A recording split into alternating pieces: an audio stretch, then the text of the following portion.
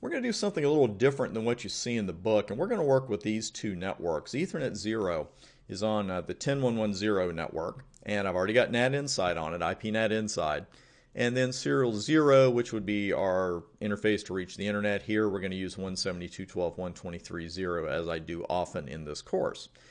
When we're done, we're going to ping 123.1 from here and make sure the address translation takes place. Because just because you see connectivity, it doesn't necessarily mean you have a translation. I'm also going to introduce you to a bonus command that you might not see on your CCENT exam, but it's an excellent lab command. It's good for troubleshooting in the field too, don't get me wrong, but it's really good for lab stuff, and I'll show you exactly what I'm talking about as soon as we get started here. We almost always begin with IPNAT, and here what we're doing is IPNAT inside, because that's what we're working with right now and destination and source. So what we want is the source address translation. And here's where we branch off a bit. Route map, we're leaving those for future studies. But I've got a couple of options here.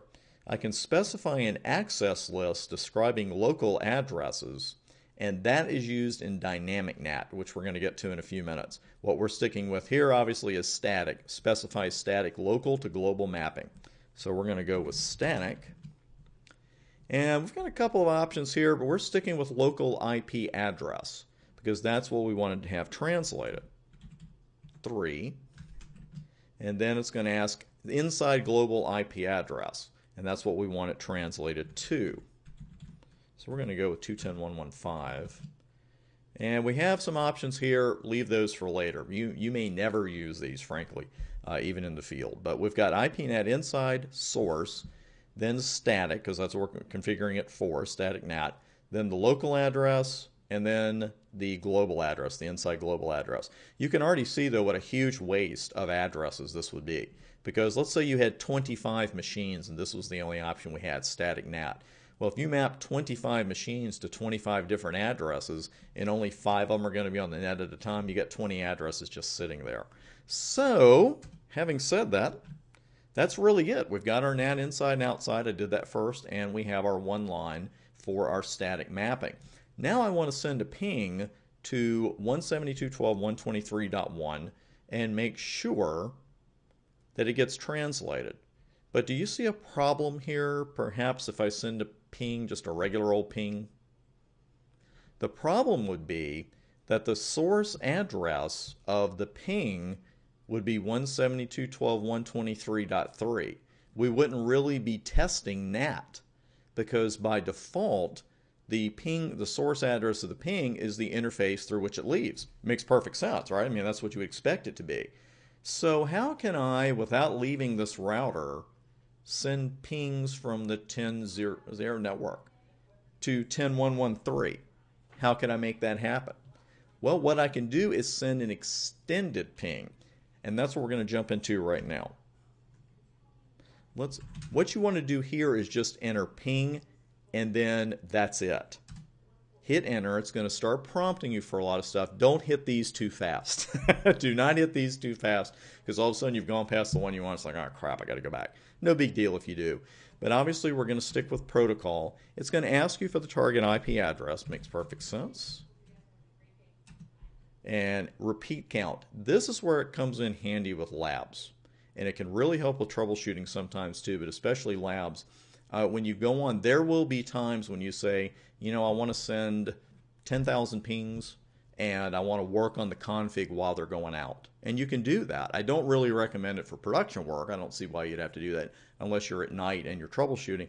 But this is a fantastic tool that lets you say, okay, I want 20,000 pings but you just have to know how to cut them off, right? You remember how to do that? So let's go ahead and just send the 5 because we're going to take the defaults here. And we've got timeout in 2 seconds. We'll take that. Extended commands. The default is no. If you're changing the source address of the pings, which is what we're doing here, you want to say yes. That's why I said just don't tap the key 10 times and say, okay, I'm done. Now you can put in the source address or interface of the pings. And I believe if you just put in E0, it's going to yell at you because you have to you have to go with Ethernet 0. You can't abbreviate here.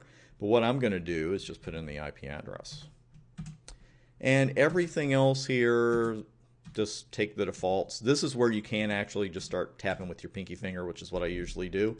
And you just go from there. The five pings went out. Now let's check our translation.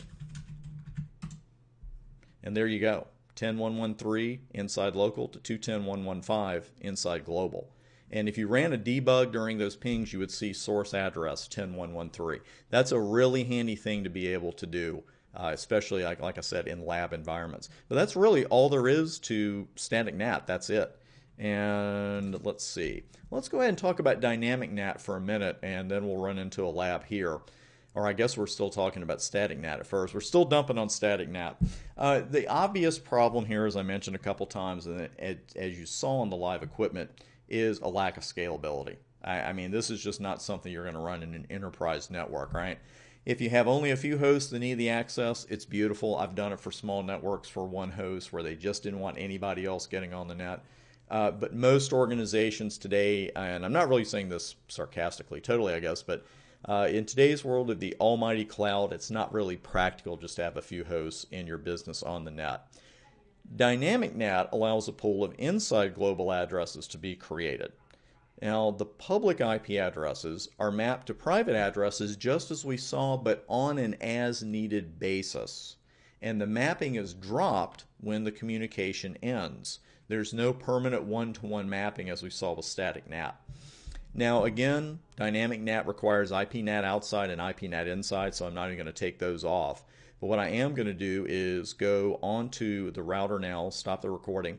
I'll get rid of that one command, and then we will start a dynamic NAT configuration on the next video. I'll see you there.